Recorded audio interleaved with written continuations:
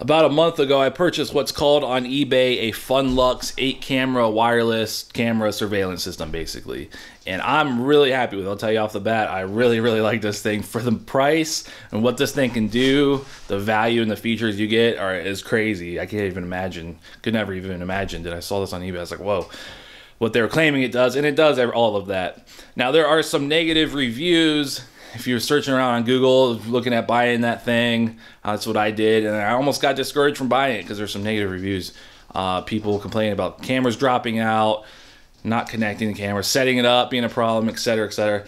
99% of that, I'm going to tell you right now, is going to be your router because these cameras don't connect directly to the NVR they send you. That just records a video and gives you an operating system used with a mouse and a monitor to play back surveillance video, and it's really really nice what it does. But this the cameras actually connect to your existing router you have in your home uh, network, your 2.4 gigahertz band on your router. So you're to need a good router. Now I've tried quite a few routers. When I got this, I went through three or four routers. I think three, yeah, three. A TP Link. I tried my cable router combo, cable modem router combo, which was actually not that bad. Then I got this TP Link router, and it was garbage for the 2.4 gigahertz. The 5 gigahertz band on it was probably fine. Not knocking TP Link, but did not work with these cameras at all. So avoid those.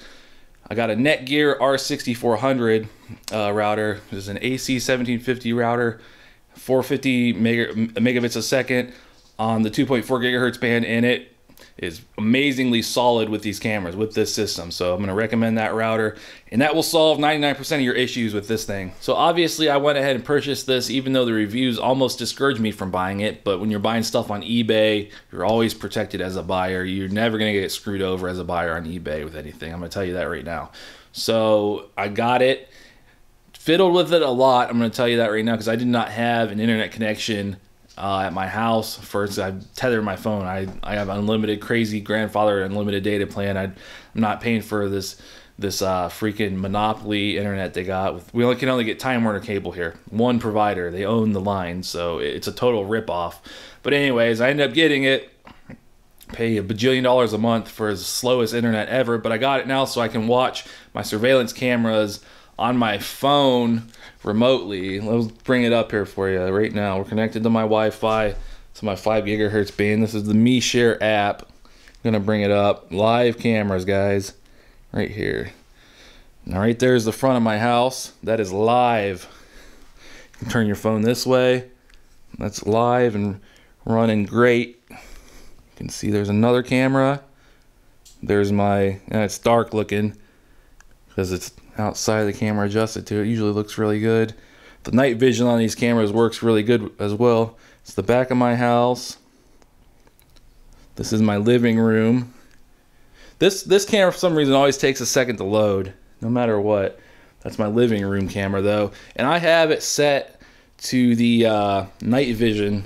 You can actually set it to leave the night vision on all the time, and I do that because it doesn't want to kick on sometimes on the camera. I'm showing you here that this this thing works like they say. That's the side of my house, and then this is my front door camera, and it's all white outside. We've got snow on the ground, but it's pretty awesome. It's really cool, actually. Um, what this thing does once you get it set up and get all the bugs worked out. Now, some of the most impressive things about this MeShare app. Now they have a Funlux app that you can use, but honestly, use the MeShare app. It's the same thing, but it has more features. They update it more often. So, because uh, these cameras are branded from Zmodo, they have a couple different name brands, so don't worry about it. Use the MeShare app. Now, one of the cool features, you can actually set it to away when you leave, and it will give you motion detection.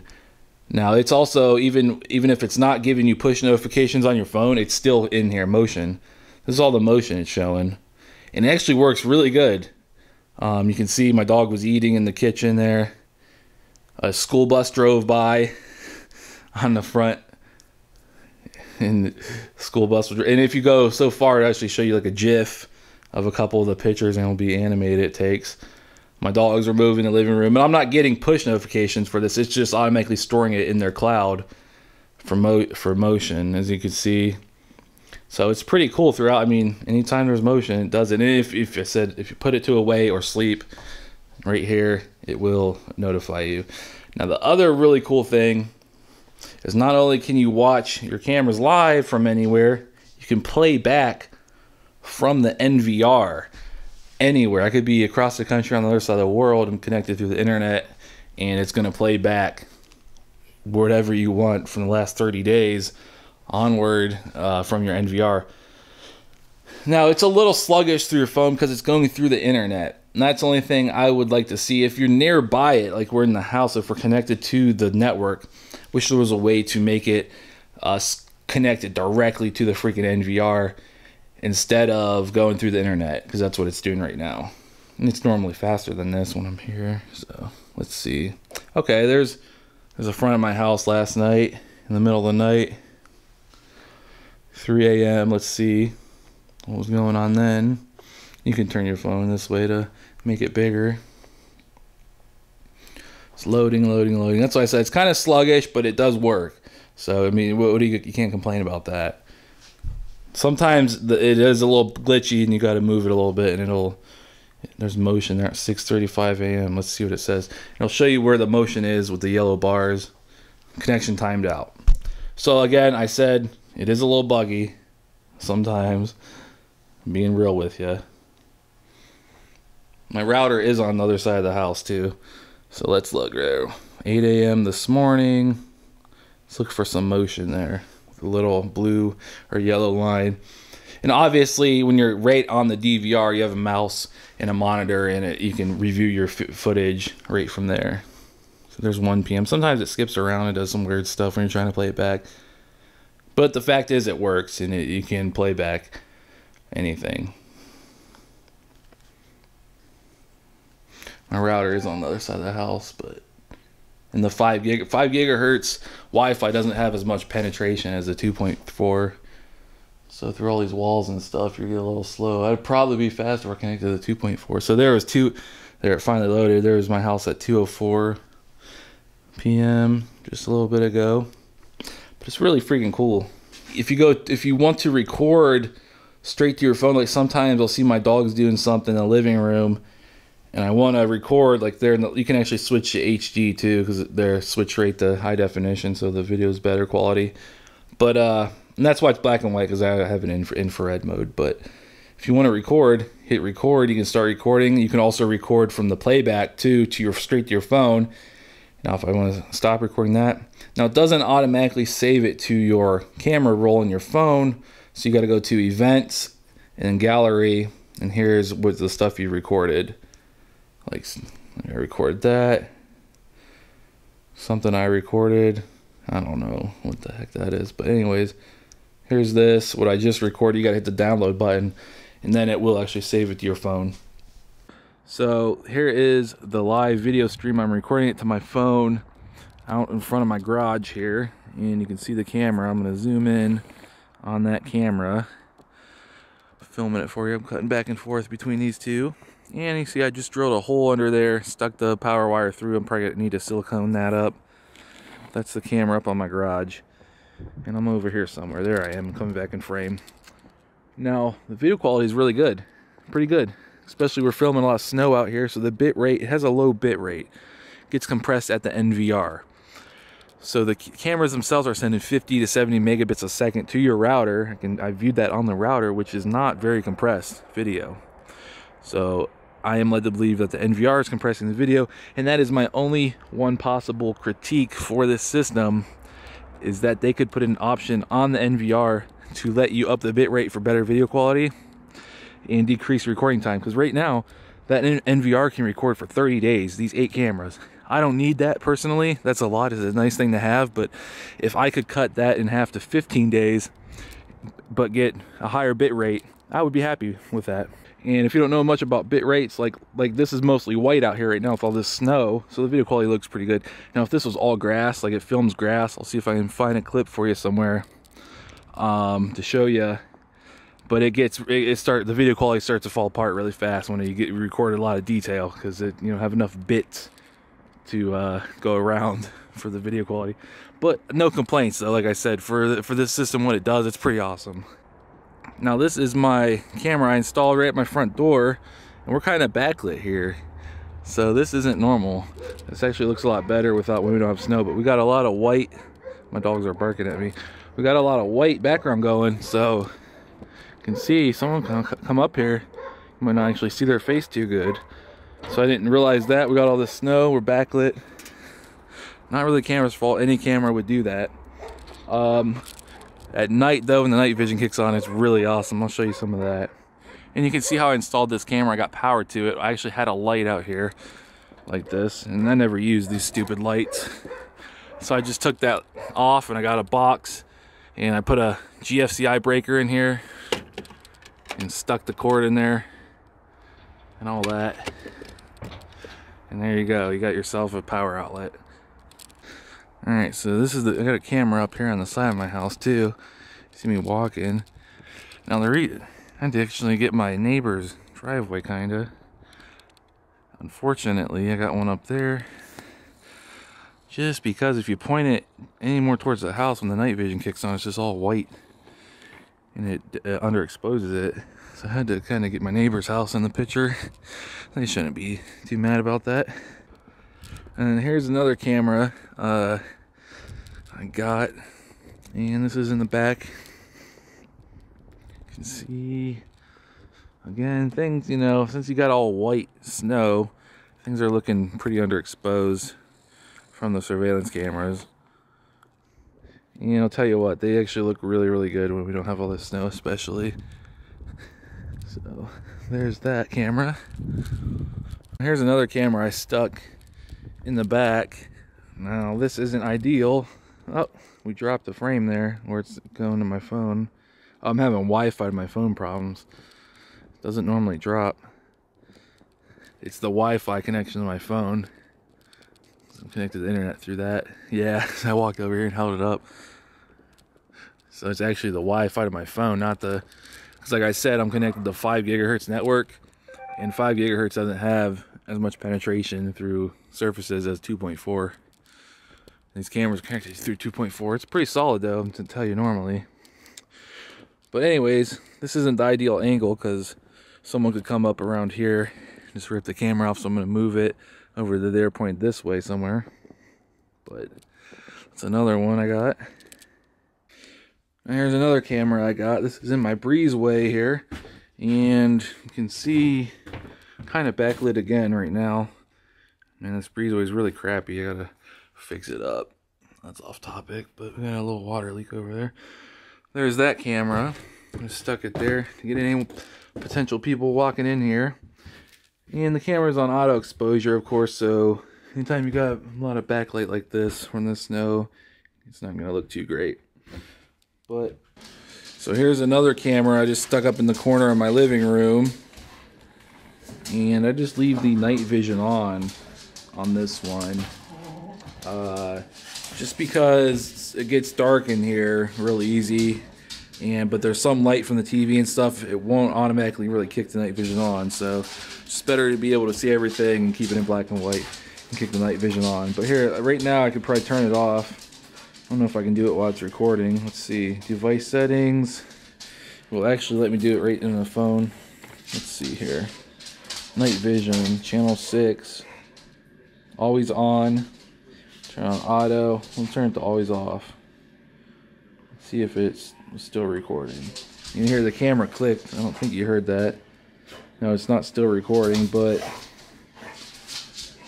you can go through here, connect, there it is, it's off. You look at what it looks like when you turn that off. Record it a little bit. So it looks fine in the daytime. At nighttime, it won't really kick on sometimes. So I just leave it on, the night vision. My dogs are going crazy. What are you guys doing? What are you guys doing? I know, you're happy. In here making a mess. Alright, now this is at night here. This is my front garage camera. Now, interestingly enough, the freaking uh, night vision isn't actually on because all this white snow as my light out here is bright enough to not even turn it on. So we'll have to demonstrate night vision on another camera. But that's what this one looks like. Alright, so here is my front door camera at night. Now earlier we were talking about how it was kind of backlit because it's all the white snow. But now you can see someone comes up here and get a very clear image of their face. So the camera, the night vision works extremely well.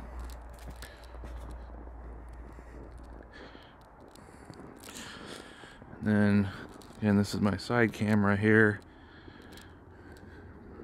And be able to see someone walking down the side of the house.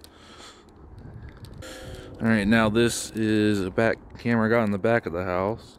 You can see me walking up to it here. I might actually point this up a little bit. Get someone, because rarely gonna have someone right here. It's nice to see if anyone's creeping around the back of your house. You you can see how the, uh, weirdly enough, my camera's not really, oh wow.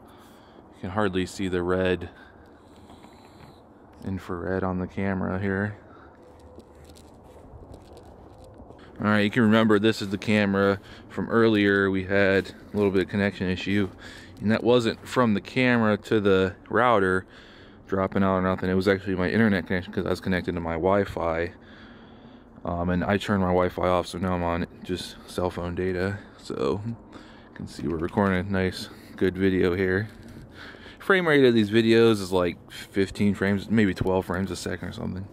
Plenty enough for security cameras. Let's put it that way. This is my crappy breezeway entrance camera. You can see uh, all the junk I got out here. Guys, this place a mess. But anyways, you can see the camera works really nice. I even got kind of a little shot in my garage of the when I got the door open, so that's nice. And then finally, here's this other camera at night, also clicked in in night vision. My dogs are playing in the background, so you can see you guys need to chill out. crazies. Crazy crazies. Woof woof.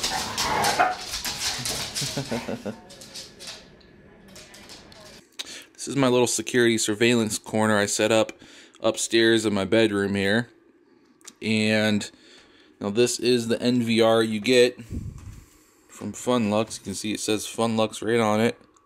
You're not really supposed to move these when they're operating. I mean, hard drives in general. It's alright though. That's a one terabyte hard drive, and it has an H HDMI out, USB port for a mouse, and I gotta remove this bar. This is this rack here I just got with some big box cheap metal rack, really cheap. I gotta remove this though. But anyways, this is what it looks like on the screen.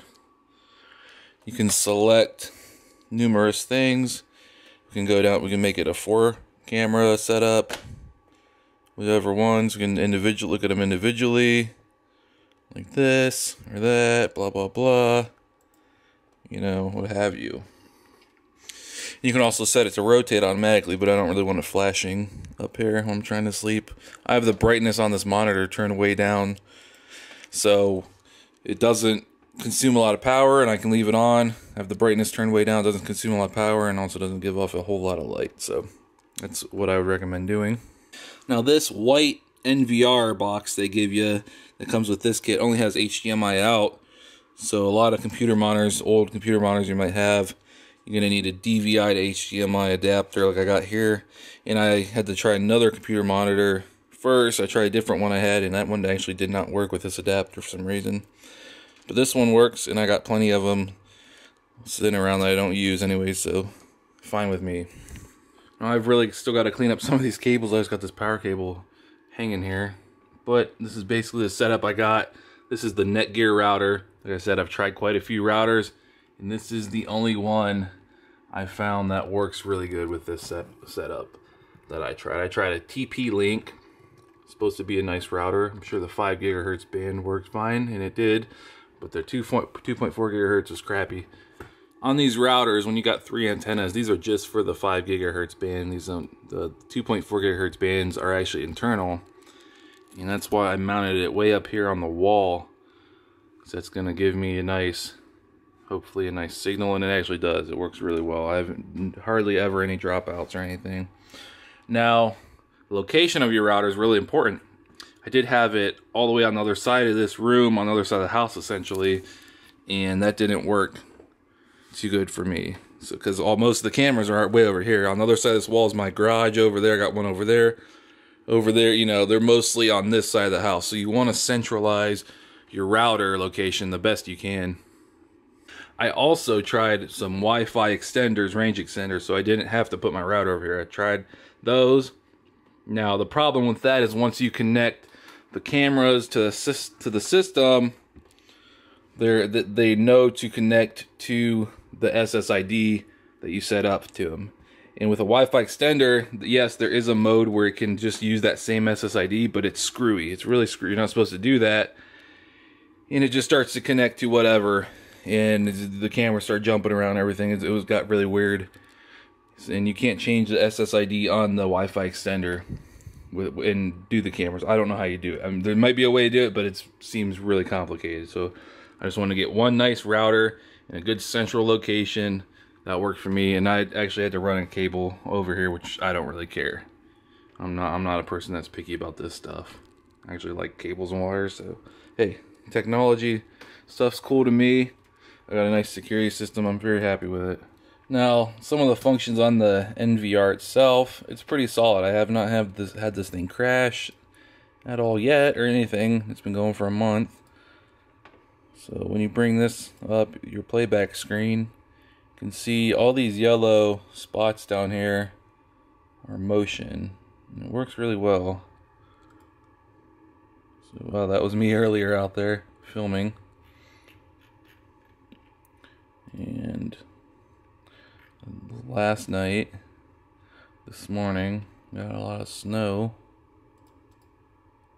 You know, so it's relatively responsive. It's not it's not as slow as I would imagine or anything. This is my living room.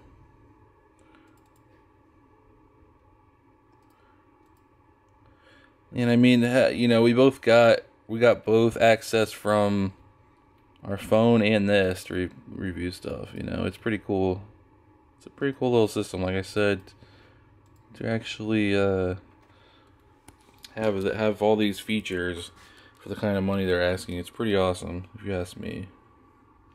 Now another thing, I have this router set up as an access point, so I have to use another router over there coming off my cable modem into that router, separate router, and then split off of that router into this. And this is set up as an access point. Just because my only cable I got coming in the house is on the other side for the cable modem. And I didn't want to run that over here and run a bunch of cables back to have LAN hardwire to my computers that are on that side of the house. So I just ran this over here, hooked this up as an access point, and it works really, really well. Now, when I actually set this system up, like I was kind of saying earlier, I didn't actually have an internet, a real internet connection at this house. I was just tethering from my phone because I got this crazy unlimited data plan old school. So I always just use that because these cable companies are rip-offs over here. So when I was trying to set it up in the MeShare apps, you go add in the corner, you go zinc, you want to add nine, if you got the eight camera kit, you want to add nine devices because they count the NVR as a device. That's essentially how you set it up.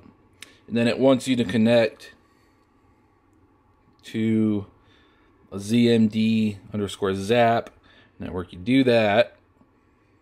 And when I did not have an internet connection, what it would do, it would just take forever with the little circle thing, keep going and going, and eventually give me an error on the app. But it would add one camera to the NVR. I just kept repeating that and repeating it, and it eventually got all eight cameras. Now, if you have an internet connection like you're supposed to, like I said, I would assume it would go through whatever complete process you need to. Now, how this all works together is honestly some kind of mystery to me. I understand a lot of stuff, but some, I mean, it's a, it's a little it's a little bit confusing. I'm not gonna lie. So you add these cameras to the NVR from the app, and you got to be connected to the that Wi-Fi, but and then you also got to connect to the Wi-Fi the router. So it, it's it's a little confusing. Um, I don't know actually how to go through the ins- installation process with you here. I'd like to. when I was changing routers, I didn't have to go back through and set it, reset it up. I would just put the same uh, SSID name and password on the new router, and they, the cameras would automatically connect to that router on the 2.4 gigahertz band. So that's all you got to do if you change routers. So no big worries about that. But if you have any questions setting your system up here, uh, just ask in the comments on this video. And I do know a lot about this system and potential little tricks and tips and stuff, so I can help you out with that. And we can maybe build a little database on this video of good procedures. But as you see, it is clearly working now. Has been for a month now. It's extremely solid. Like I said, it's pretty cool. Only little bug I'm noticing is okay, I can bring my playback up on here and it will let me go back in dates. So you see, I've been, I've literally been, I haven't been lying. I've been using this over a month now. So I can go back to the third. Okay, and I'll pull it up on here. However, my NVR, last time I tried, it wasn't pulling up whenever I try to click on one of these old dates, it's not doing anything. I might need to restart it. Well, that's kind of goofy, huh? Let's try to re let's try to reboot it. Yeah, now this is another trick. If you have any uh, issues, like I was saying, I got I got this router going as an access point from another router, so it goes cable modem, router, split out into my computer over there, the down and down to split out to this access point. So you got to unplug everything. If you ever have any issues, unplug everything. Plug in your first router like I got set up, then plug in your cable modem so that will identify that router. Then plug this one in, then plug the NVR in. It gets weird. Get, there's a little process to it. But uh, because what'll happen is if you don't do it in the right order, and you got it set up like I do, it will try to your computer or your cable modem will connect, give give the IP to whatever router. It'll be the same IP as this, and it gets all it gets all freaking crazy. I don't really know how to explain it. It'll try to use the same IP and all this crap. But you can see when you turn it back on, it brings the cameras right back. So that's you know, that's nice. Okay. I didn't show you any settings in this either. What we got? Well, this is what I was talking about earlier, kind of. It would be nice. I would sacrifice recording time. Look, I've recorded a month worth of eight cameras, and we, we've only used 273 gigs. That's an oh oh that's free space. So I've recorded a month, and we've got still got 273 gigs free. And what'll happen, it'll just start recording over again from the oldest recorded video. Overwrite, you can select to stop recording or overwrite. I selected as overwrite, which is cool. I would like to see an option to increase the bit rate and decrease, which would in turn decrease how much recording time you have. I don't need a month. It'd be, it'd be cool, but I'm not complaining. Device settings. Now here it shows you all the IPs and MAC addresses for your cameras. And then video mask, I'm not sure what that's all about. I don't know. I don't know. Looks like you can cross off some of the video and just edit it out. Event management. You can Oh, you can intelligent recording. It probably only records motion if you select that. I don't really want that. But you can do that. Motion alarm. Well, may have it. I never knew that. It's got an alarm in it for motion. Huh. That's cool. You can select. Sweet. So it's, it's a nifty little setup. Let's see about the playback though. That was weird. Yeah, I even rebooted it. I'm not getting any, uh... So I can access the old dates and stuff through my phone, but not through here. I must be, am I doing something wrong? That's odd. Now these do have firmware updates. I do believe I updated updated its latest firmwares. Let's see device system settings automatic upgrade. Let's see if it's got a firmware update.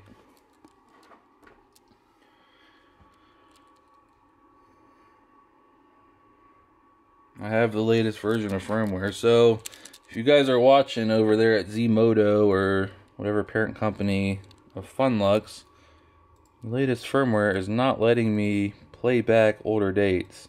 I'm stuck on today from the NVR, which, like I said, we can play it back from the phone. I'm trying to click both. If I right click, it takes me back. So that's kind of goofy.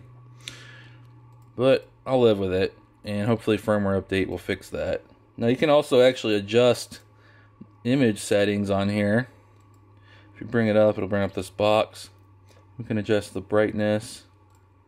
I have I have mine all kind of tweaked out. This will get you some more dynamic range out of the images.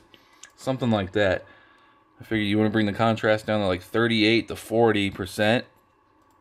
Leave your saturation at 50 and then boost your brightness up to like 90. This will give you the most dynamic range out of these cameras, which means won't blow the highlights out as easily and stuff, give you more detail.